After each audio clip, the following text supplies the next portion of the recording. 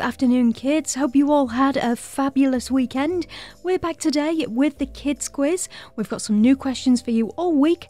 But first of all, let's kick off by having a little rewind to last Friday's questions and see how well you did. The first question I asked you last Friday was The appendix is a thin tube attached to the gut. What is it for?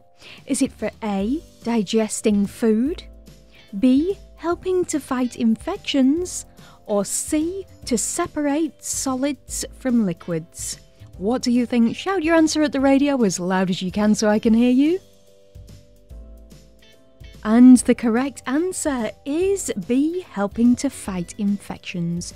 Your appendix can help you to fight infections.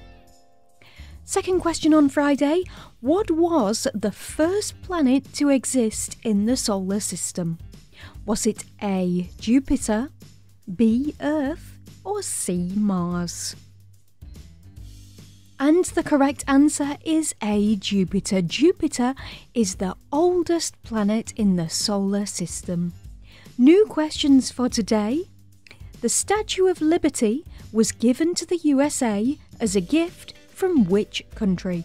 Was it A. Italy, B. France, or C. the United Kingdom? And the second question for today why does the Tower of Pisa lean? Is it because A, it's too heavy, B, it was built this way, or C, it has uneven foundations due to soft ground? Let's see if you can get those right. Get ready to shout your answers at me tomorrow, the same time here on Fabulous 103 FM.